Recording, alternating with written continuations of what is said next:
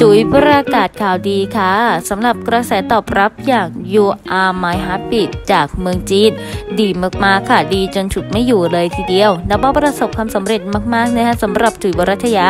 ตอนนี้เลื่อนขั้นเป็นผู้จัดละครไปแล้วค่ะ แม้จะเป็นเรื่องแรกที่เธอได้เป็นผู้จัดแต่กระแสตอบรับจากแฟนๆชาวไทยเองดีมากๆ ชาวจีนเองก็ต่างท่วมท้นนะคะ ซึ่งงานนี้เองเนี่ย ในเรื่องของ You Are My Heartbeat มียอดวิวพุ่งอยู่ที่ประเทศจีนไปมากกว่า 100 ล้านวิวแล้ว ถือเป็นการเริ่มต้นที่ดีมากๆ แม้ละครจะแสดงไปเพียงแค่ครึ่งเรื่อง แต่ก็สามารถกรองใจคนดูได้ทั้งประเทศค่ะ และต่างประเทศทางเราเองก็ต้องเป็นอีกหนึ่งกำลังใจดีๆให้กับคุณจุ๋ยวรัตยา ผู้จัดละครคนเก่งด้วยค่ะ